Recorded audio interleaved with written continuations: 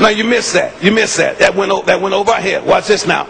Watch this now. Watch this now. Watch this. So, so therefore, what God does is He goes to the crime scene and He washes their fingerprints off the crime scene.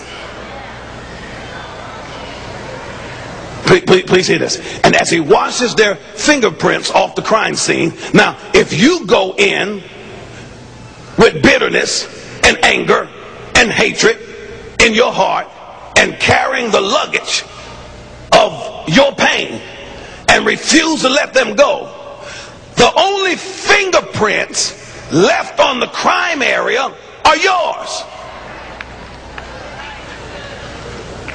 You, are not, you're not seeing. Look at me. Which means if you're still talking about it, you become guilty of the sin because you're the only one there. So now your prayer life is hindered. Because whatever you're angry about that they did, if they repented, God released them from the crime scene. They ain't even thinking about you. And the only person there. So now, Saint, who ain't never done nothing wrong, but been done wrong and you're always a victim. Lord knows I'm a victim. You don't understand. 10 years ago, such and such, five years ago, this happened. And you stop living at that moment. Ask your neighbor, when did you stop living? Look at me. Look at me.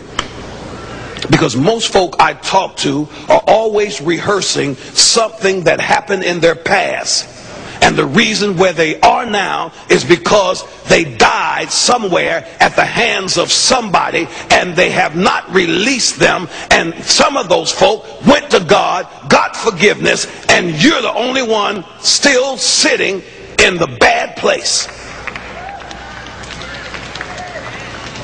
And God's saying, well, I can't bring up what they did.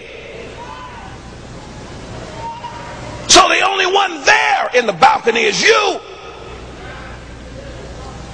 If somebody robbed the store, took the diamonds and everything else, and they wiped their prints, and you walked in there and was standing in the store looking around, touching stuff, and then the police got there and you were the only one in there, and they lift your prints,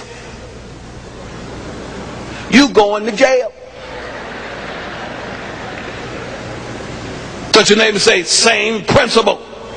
What, what, what, what's this? What, what, what, what's this? What, what's this? What's this? What's this? God gave us that as an example for us to forgive. He said, forgive your enemies. That's what Jesus had to do. He said, matter of fact, don't just forgive them, love them.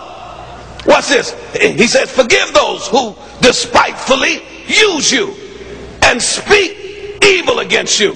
See, forgiveness is a much bigger issue than we make it. Because if you don't forgive, you become a partaker of the sin.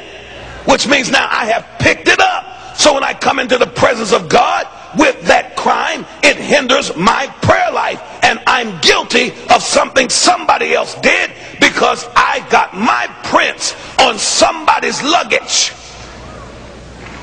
Now watch this. So I got it. I'm carrying it around with me.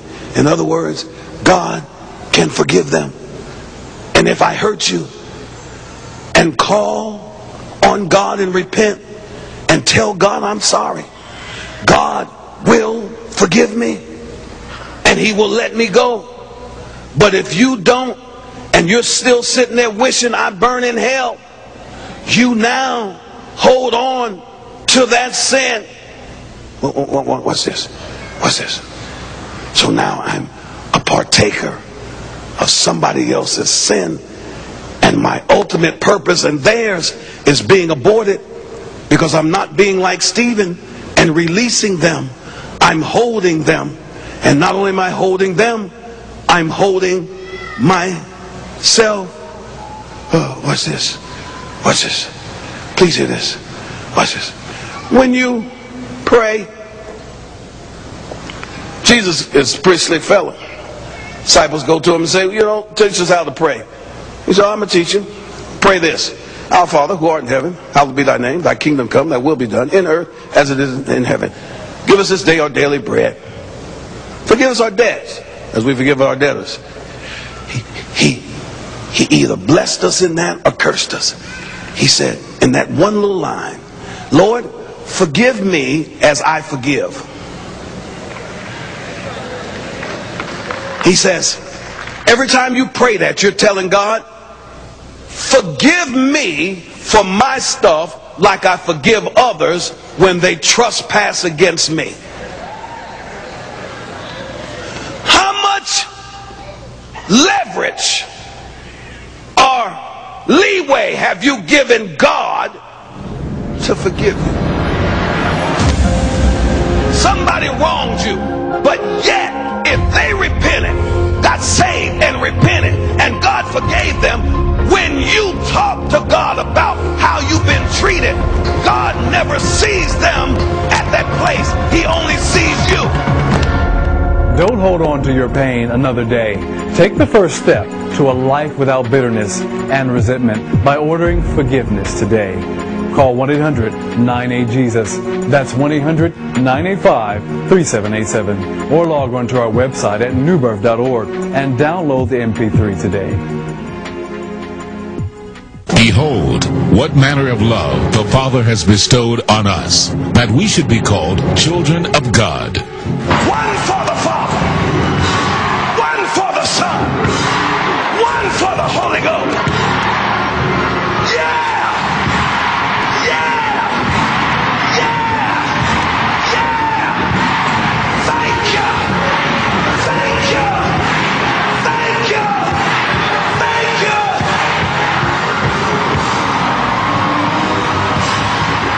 should have been dead.